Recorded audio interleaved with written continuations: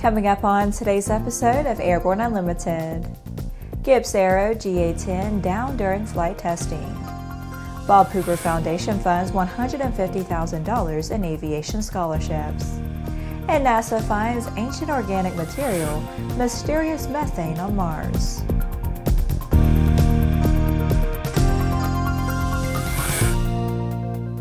Hello, I'm Laura Hudson. It's June 11th, and this is Airborne Unlimited. A GippsAero GA-10 turboprop airplane went down June 4th during flight testing at the Mojave Air and Spaceport, resulting in the likely destruction of the airplane. The accident occurred around 1100 local time on June 4th.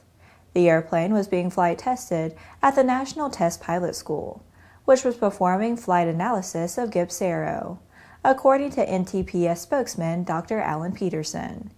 He said that no NTPS students, faculty, or aircraft, were involved in the accident. GippsAero spokesman Earle Boyter confirmed the accident, saying that all safety systems worked as planned and both pilots will be fine. He said that the company is cooperating with the FAA in its investigation. One of the pilots was identified as David Wheatland of Traralgon, Australia. The other pilot, Greg Lewis, was from the United States. GippsAero is based in Morwell, Australia. The company is owned by the Mahindra Group based in India. After the break, new leadership for Enstrom Helicopter Corporation.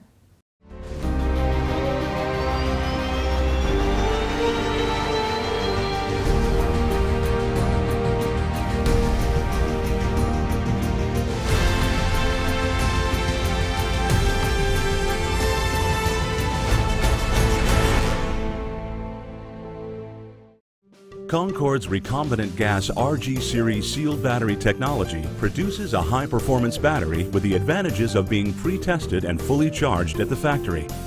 Find out more about Concorde's entire line of batteries at www.concordebattery.com. Concorde, the heart of your aircraft. Sandia introduces the new SAI 340 Quattro TSO'd airspeed, attitude, altitude, and slip with integral backup battery Safety never looked so good. See it now at www.sandia.aero. Welcome back. If you have a story suggestion for Airborne Unlimited, Aero TV, Airborne Unmanned, the AMA Drone Report, our website or podcast, just email to news-by at aero-news.net. With so much news coming out of the aviation industry, we're summarizing some other interesting stories in a brief segment we call Around the Patch.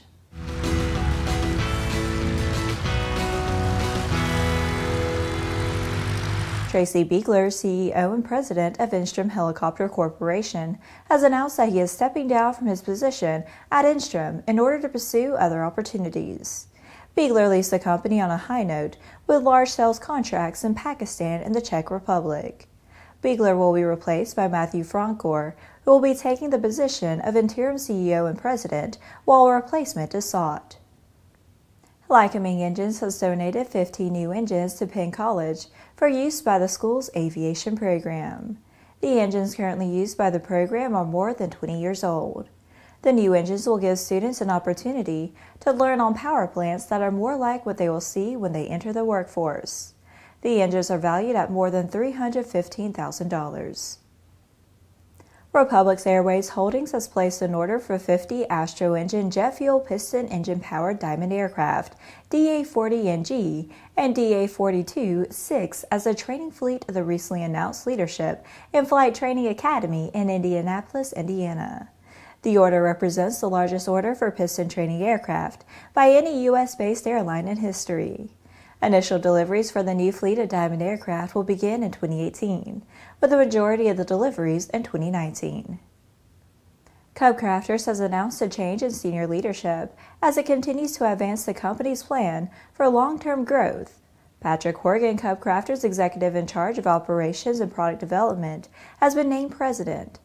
Horgan has recently focused on increasing the company's manufacturing capability and productivity. Well, that's it for today's trip around the patch. Now let's move on to the rest of the news. The Bob Hoover Legacy Foundation has so far funded aviation scholarships totaling $150,000. These scholarships are a core element of fulfilling the mission Bob Hoover laid out for the Legacy Foundation prior to his passing. Bob wanted his legacy to be an ongoing dynamic commitment to excellence in aviation, especially on the part of tomorrow's aviation leaders, said Foundation President Tracy Forrest. The scholarships are given to full time undergraduate students enrolled at either Prescott, Arizona or Daytona Beach, Florida campuses of Embry Riddle. Recipients must be enrolled in the College of Aviation, majoring in aeronautical science with intention of becoming a professional pilot. Everybody in aviation is aware of the professional pilot shortage, said Michael Herman, at chairman of the Bob Hoover Legacy Foundation. But Bob recognized that it should not just be about more pilots. He knew our professional pilots also have to be our best pilots. The Bob Hoover Legacy Foundation is a 501c3 not for profit foundation dedicated to preserving his legacy, the greatest stick and rudder man who ever lived, by supporting programs that are working to advance and enhance the future of aviation. The foundation was conceived and formed by Bob Hoover prior to his passing. After these messages, NASA finds ancient organic material, mysterious methane on Mars. There's a difference between charting a steady course and pushing for the ceiling. And for nearly a century, Hartzell Propeller has been defining that difference. It's in our passion for engineering and research and our dedication to testing the limits of performance. We are built on honor. We are Hartzell Propeller. Based on the popular Sling 2 LSA, the Sling 4 was designed to be the most practical and desirable lightweight four-place experimental aircraft on the market. Find out more about this 115 horsepower turbocharged airplane at airplanefactory.com. Welcome back. NASA's Curiosity rover has found new evidence preserved in rocks on Mars that suggests the planet could have supported ancient life as well as new evidence in the Martian atmosphere that relates to the search for current life. While not necessarily evidence of life itself, these findings are a good sign for future missions.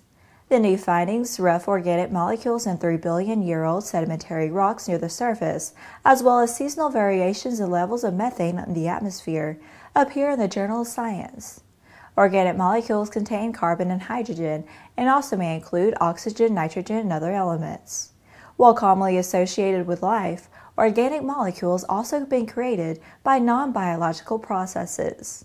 Although the surface of Mars is inhospitable today, there is a clear evidence that in the distant past, the Martian climate allowed liquid water, an essential ingredient for life as we know it, to pool at the surface. Water rock chemistry might have generated the methane, but scientists cannot rule out the possibility of biological origins. Methane previously had been detected in Mars's atmosphere in large, unpredictable plumes. This new result shows that low levels of methane within the Gale crater reportedly peak in warm summer months and drop in the winter every year. Well, that's our program for today. Remember that Airborne Unlimited is streamed on Monday, Wednesday, and Friday, alternating with Airborne Unmanned on Tuesday and the AMA Drone Report each Thursday. Additional breaking news bulletins may be posted for important stories that fall outside of our normal deadlines. If you're watching us on YouTube, please subscribe and do check us out on Facebook and Twitter. Get comprehensive, real time, 24 7 coverage of the latest aviation and aerospace stories anytime at aero news.net. We'll see you tomorrow.